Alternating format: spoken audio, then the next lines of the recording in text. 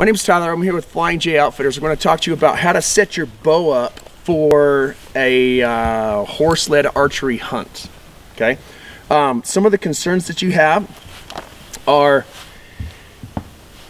not all quivers are made the same. As you're riding along, you're bumping, right? You have this thing on you.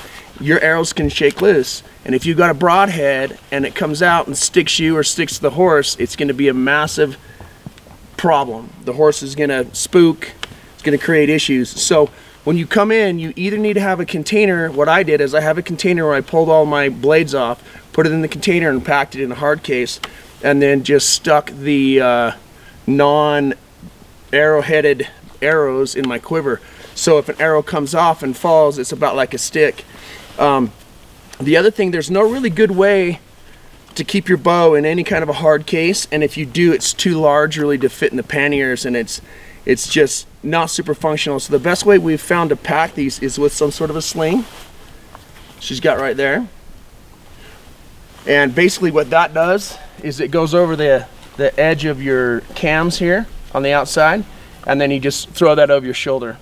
Um, for those of you that don't want to buy a sling like me, I took some 550 cord and I made a loop and I tied a loop with a knot that that goes against itself. This is just a grapevine knot.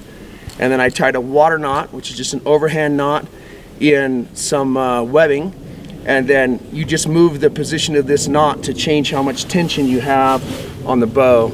So essentially all I did is just run this string inside the cam and then spread it out and put it right over the top like that. Really simple. Just push it down that spot right there, spread it out, bring it over the top.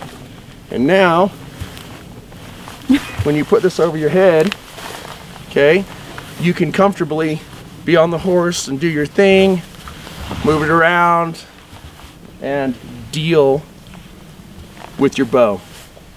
Right, and so the other thing is, is you have a little bit of protection here.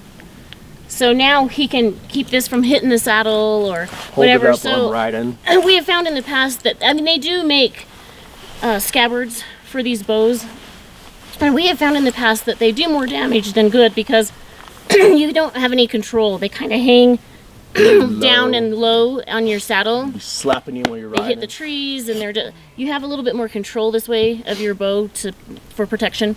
Um, the other thing with the arrows, another option, um, if you don't want to take the broadheads off, you can always get an arrow tube, uh, you know, hard case, stick all your arrows in that, and then we can pack it on the pack horse. Um, that's a good option as well.